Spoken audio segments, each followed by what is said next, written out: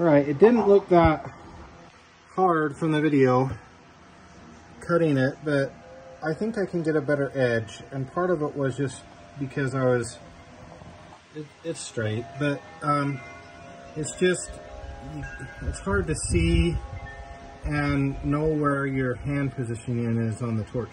So I fabricated this. And how this works is pretty simple.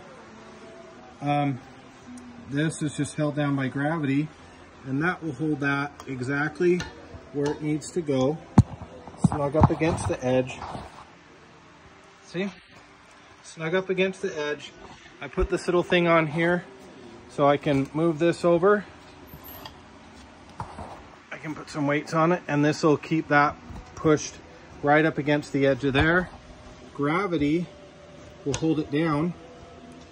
Um, additionally, I have these, you can see the, the drags on there on the side, but I have this that I might put on. These are little roller balls. So I might, I might decide to put this on. Um, but anyway, I think this will be much easier.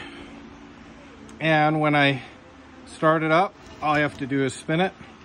I can spin it as fast or as slow as I want. I can go back or forth.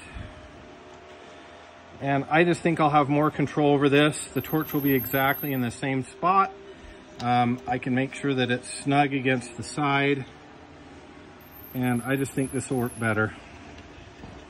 So, version two.